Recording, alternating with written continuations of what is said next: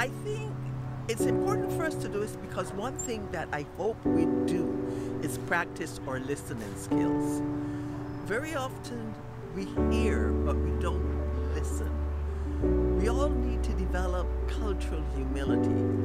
That is to say, we need to recognize what we don't know and shut up and very, very broadly start listening and learn get information on what we don't know and having that information then to apply it.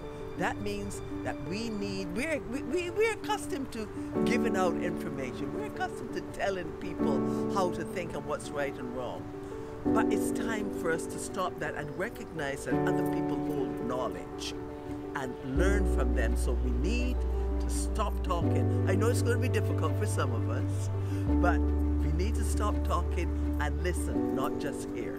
That's very, very important.